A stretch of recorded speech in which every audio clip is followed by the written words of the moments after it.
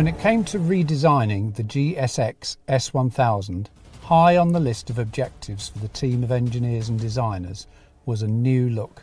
And immediately obvious is the bike's new aesthetic.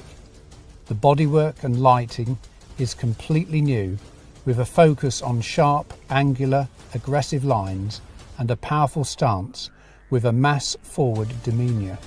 Its Street Fighter looks are enhanced with textured radiator shrouds, MotoGP inspired winglets, and side panels that feature an urban camo inspired design. Arguably, the most striking visual change is the new vertically stacked LED headlight, as well as the practical benefits of a new monofocus LED light source that displays a wide, bright light the new design of two stacked hexagonal units topped by LED position lights creates a look that is lighter and tighter and aids the desire for a more aggressive pose.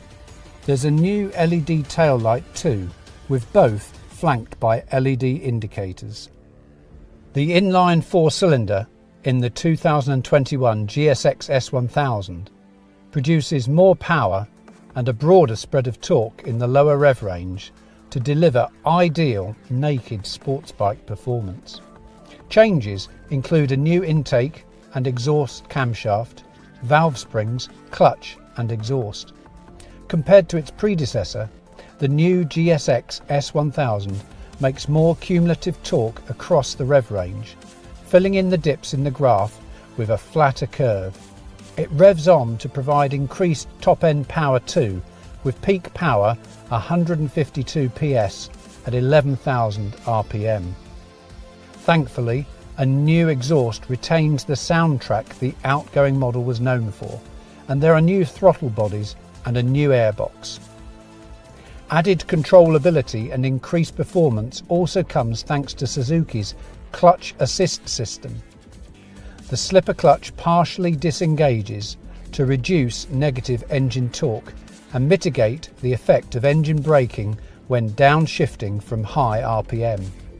This helps prevent the rear tyre from locking up or hopping and provides smoother deceleration, enabling the rider to shift down with greater confidence and maintain better control when downshifting into corners. Adding an assist function increases the clutch's clamping force under acceleration and thereby allows the use of softer springs while still efficiently transferring torque to the rear wheel, resulting in a lighter lever operation. An advancement over the previous GSX S1000 comes with an updated suite of electronics, courtesy of Suzuki Intelligent Ride System, SIRS. A new ride-by-wire throttle makes it possible for riders to more accurately and finely control the relationship between throttle actuation and engine response, especially when allied to the new Suzuki Drive Mode Selector System, SDMS, with which the new GSX-S 1000 is equipped. SDMS allows riders to choose from one of the three engine maps depending on the riding conditions or their own personal preferences.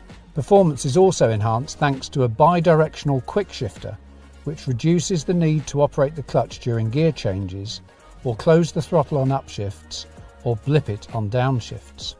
A new traction control system comprises five modes while it can also be switched off. Topping off the electronics package is Suzuki's always handy easy start system and low RPM assist. All the information is displayed on an updated LCD dash lifted from the GSXR 1000R Superbike.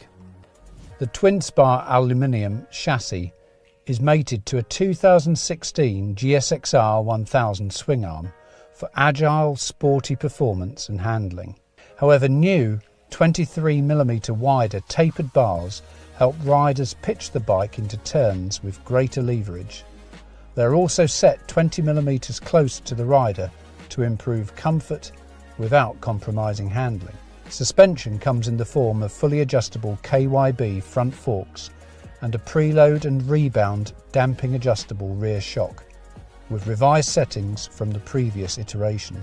310mm front discs are paired with Brembo monoblock calipers. A new, larger 19 litre fuel tank and fuel consumption of 46.3 miles per gallon equates to a tank range of 194 miles. Those miles can be undertaken in greater comfort thanks to a new seat. Tyres are custom engineered Road Sport 2 from Dunlop. Ren Tabata was one of the leading test riders involved in the GSX S1000 project. While the new GSX S1000 delivers a broader, flatter torque curve than its predecessor, we also paid keen attention to delivering exciting acceleration in the mid to high rev range. The lively low to mid range torque and engine performance allows the rider to run one gear higher than on the previous model. This makes for a much more pleasant riding experience.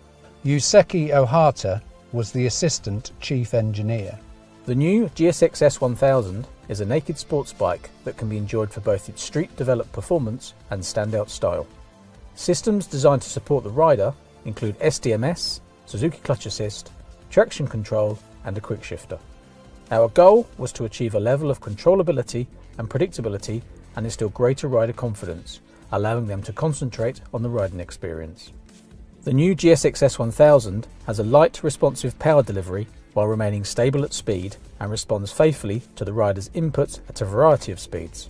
With electronic throttle control, we repeated rounds of testing while reviewing the results with the engineers as we worked to match the actual power delivery to the throttle actuation and to find the best settings for each of the SDMS power modes. The tuned fuel injection system provides a feeling of solid controllability, especially under hard acceleration. I strongly believe that we have come up with a highly appealing bike that is both fun and satisfying to ride. The new GSX S1000 offers a balance of styling, sport, performance, and controllability. I look forward to riders experiencing the true riding pleasure it offers firsthand.